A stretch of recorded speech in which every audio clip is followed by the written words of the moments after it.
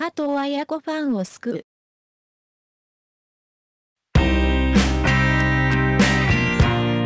マニアックな男たちをまたも役木好きにさせた。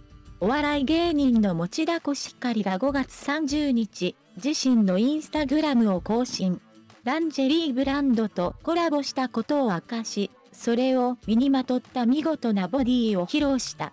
3L サイズまであるので、ぽっちゃりさんにもたくさん来てもらえたらいいな、と綴った。持田はフリーアナウンサーとして活躍中。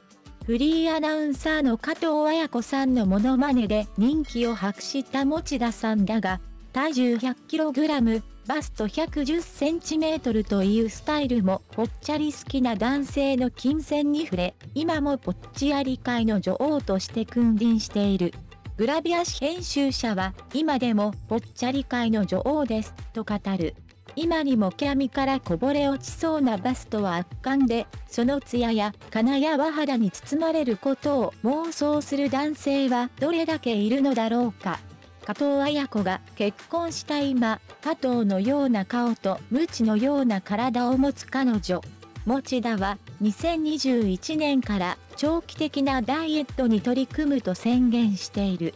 当初は1ヶ月で約 10kg の減量に成功したと報告していたが、その後、食べられないのも辛いし、食べて太ったというのも辛い。体重計に乗るのも辛い。昨年11月、彼女は減量を中止した。これからは、丸今までいい、と言い切った。丸今まだと、仕事も増えるかもしれませんね。ご覧いただきありがとうございました。好きです。